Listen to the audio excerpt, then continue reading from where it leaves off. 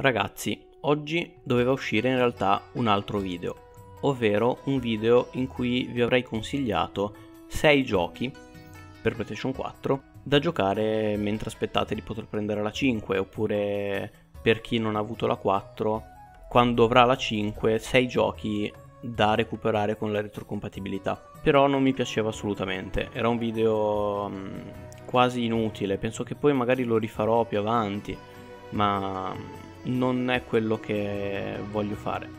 Voglio parlarvi invece di una cosa ben più interessante secondo me, ovvero i motivi per cui attualmente vorrei e non vedo l'ora di prendere PlayStation 5, ma non ho fretta di prenderla. I motivi sono molto semplici e magari potreste anche rispecchiarvi in questi motivi e pensarla come me, non, non lo so Motivo numero 1. Al lancio mi interessa un gioco, principalmente, e me ne interessicchia abbastanza un altro.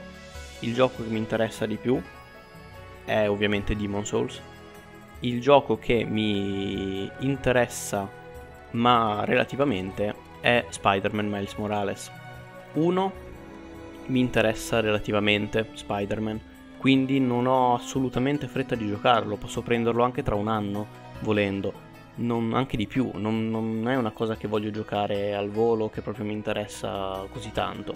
L'altro è un remake e io ho già giocato Demon Souls, anche se aspetto non è um, assolutamente un problema perché non è un gioco nuovo completamente, è un remake.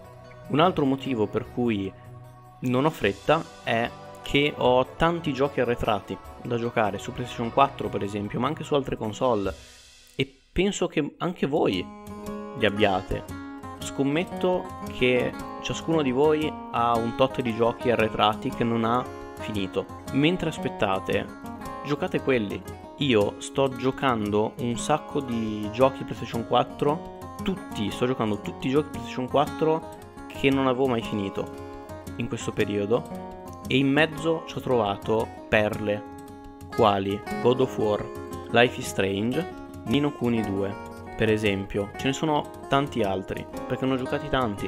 Ci sono anche alcuni che non mi sono piaciuti tanto, tipo Final Fantasy XII, ho fatto un video apposta. Ma ci sono anche tanti altri che invece meno male che li ho recuperati, quindi se c'è qualche gioco che avete lasciato indietro, recuperate intanto quelli. Poi pensate a PlayStation 5 con calma, fate come volete. Ovviamente, se potete avere PlayStation 5, meglio. Io a me piacerebbe, anche perché potrei giocarci ai giochi PS4 con PlayStation 5.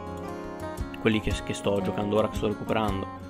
Quindi, ragazzi, per chi non può ancora prendere PlayStation 5, io parlo di PlayStation 5 perché io ho avuto la PlayStation 4, non ho nulla contro l'Xbox semplicemente non ho, avuto, non ho mai avuto l'occasione di avere un Xbox quindi mi riferisco alla PlayStation perché la conosco però penso che più comunque il discorso vale anche per uh, Series X non, non, è un discorso che vale solo per PlayStation 5 se avete giochi da recuperare recuperateli.